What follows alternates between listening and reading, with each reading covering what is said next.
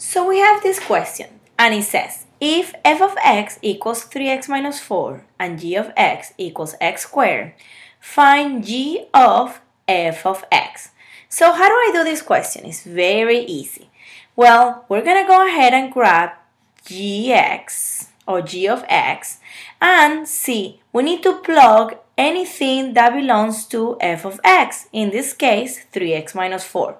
So basically what I need to do is this. So I do g of 3x minus 4 equals, now here you have an x squared. So where the x is, we're going to go ahead and substitute 3x minus 4 squared. Now be very careful here.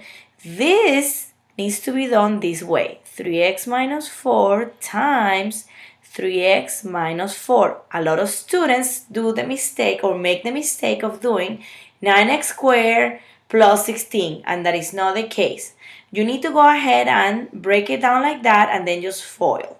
So 3x times 3x is going to be 9x squared and then 3x times negative 4 is going to be negative 12x.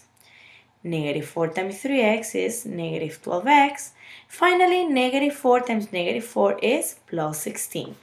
My final answer is 9x squared minus 24x because negative 12x minus 12x has equal signs.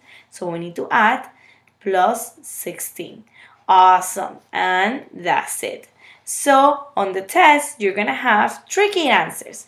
Make sure you look into your signs and because see, sometimes they're to give you the answers, but the signs are to be changed. So don't forget, just always double check your answer.